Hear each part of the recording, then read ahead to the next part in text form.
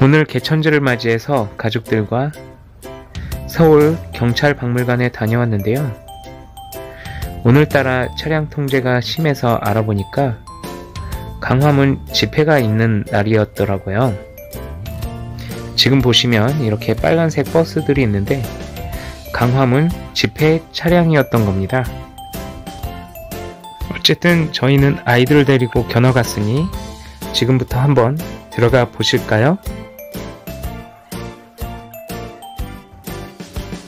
1층에는 아이들이 경찰 옷과 모자를 착용하고 경찰차나 오토바이를 탈 수 있는 그러한 공간들이 많이 있었어요. 경찰차나 오토바이를 타려면 줄을 서야 할 정도로 인기가 많은 곳이죠.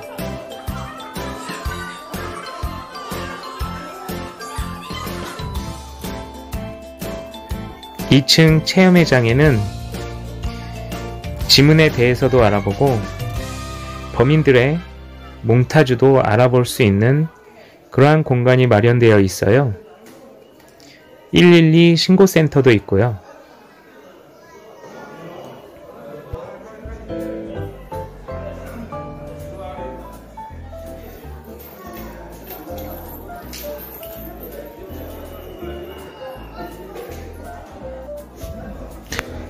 아이들과 감옥놀이를 해보는 건 어떨까요?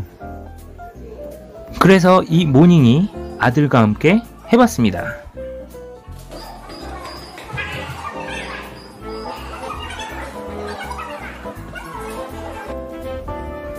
저 구석에 있는 곳이 바로 화장실인데 엄청 좁았어요.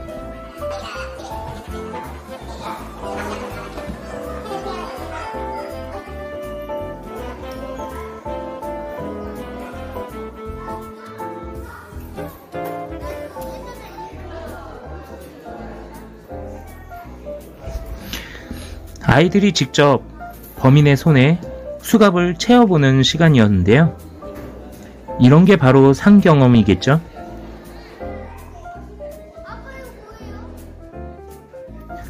우층 역사회장은 대한민국 경찰의 역사를 알아볼 수 있는 공간이었어요. 조선시대 때부터 일제강점기 그리고 현재 이르기까지 대한민국 경찰의 모습을 볼 수 있었죠.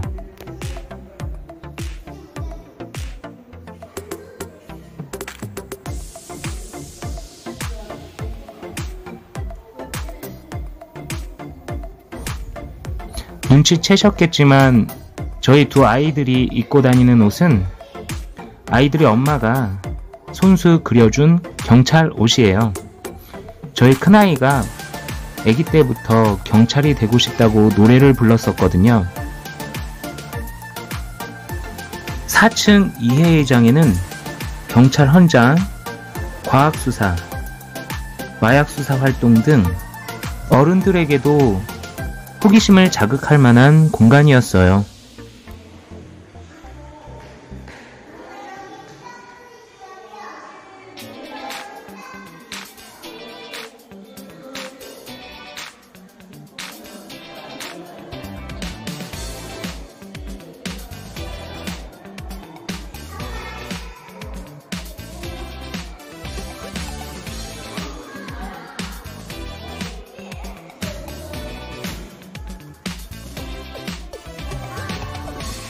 이곳은 아이들에게 인기가 많은 곳이었는데요. 지금 보시면 작은 도시를 축소해 놓은 이 모형에 노란색 버튼을 누르면 해당하는 곳에 불이 켜졌답니다. 지금 보시면 반짝반짝 불이 빛나죠? 아이들이 내가 도시의 어두운 곳곳을 밝힐 수 있는 사람이구나 라는 자존감이 높아질 수 있는 체험인 것 같아요. 정말 아이들에게 교육적인 공간이었어요. 저희는 다시 1층으로 돌아가서 기념사진들을 찍고 다음 장소로 이동하였습니다. 그럼 다음 장소로 가보실까요? 아이들과 하루를 보내기엔 경찰 박물관으로는 약간 부족할 수 있어요. 경찰 박물관에서 우측으로 조금만 더 이동하시면 도니문 박물관이 보이는데요. 도니문 박물관은 어른들에게도 정말 재미있는 곳이니 한 번쯤은 꼭 가보시길 추천드려요. 그럼 지금부터 도니문 박물관으로 들어가 보실까요?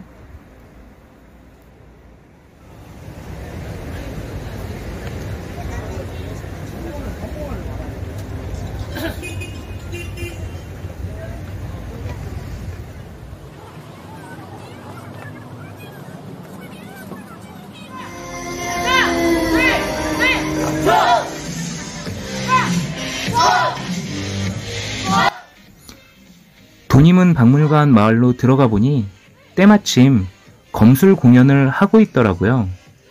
정말 운이 좋았던 것 같아요. 어디서도 보지 못할 검술 공연 함께 감상해 보시죠.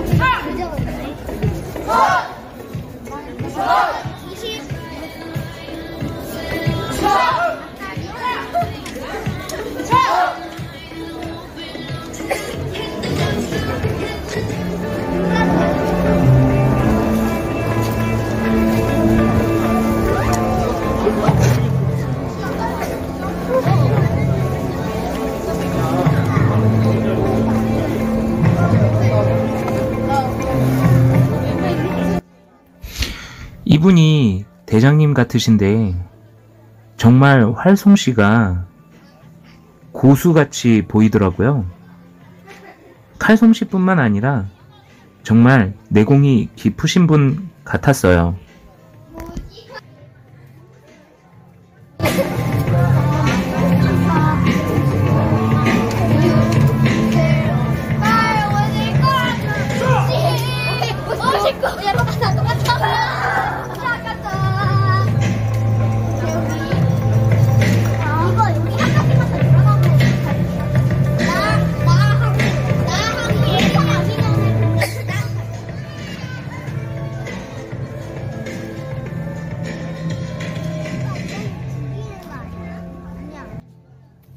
사람들도 정말 많았고 아이들도 신기한지 재밌게 보더라고요.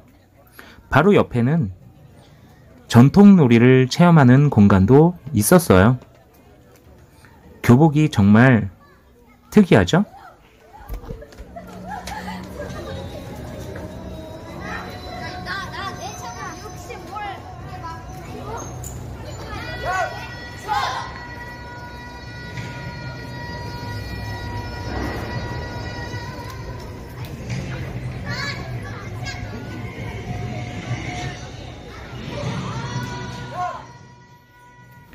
숨 쉴 틈도 없이 다음 공연이 바로 진행되었는데요. 궁금한 게 생겼어요. 과연 저 검은 진짜 검일까요?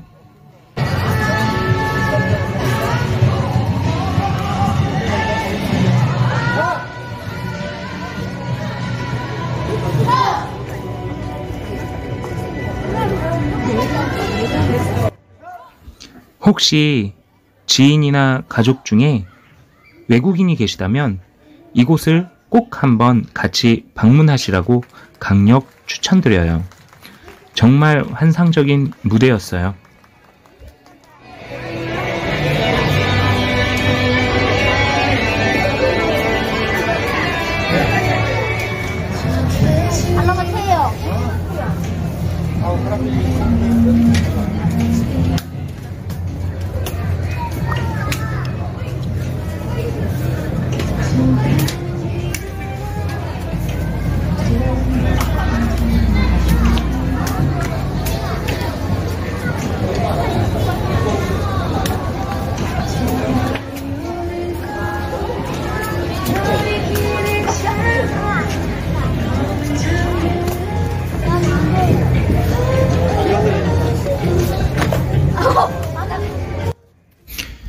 청청한 가을 하늘 아래 펼쳐지는 여전사의 검술 실력, 우리나라의 저력을 보여주는 무대였습니다.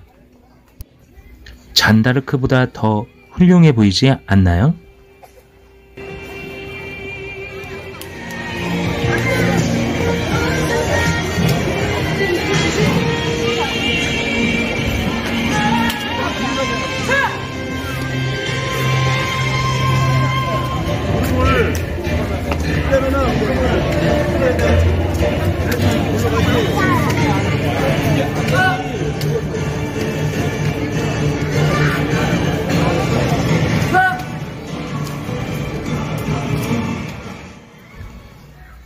이상의 우리나라 역사를 볼 수 있는 돈이문 박물관 마을의 생생한 현장을 이 짧은 영상으로 모두 다 담을 수 없는 점이 너무 아쉬운데요. 오늘의 영상은 여기까지 하고요. 다음 2부 영상에서 돈이문 박물관 마을 생생한 현장을 다시 보여드리겠습니다. 다음 영상에는 공연 외에도 아이들과 함께 체험할 수 있는 돈이문 박물관 마을의 체험 현장을 보여드릴게요. 다음 영상이 궁금하시다면 구독과 좋아요, 알림 설정 잊지 마세요. 그럼 다음 영상에서 뵐게요.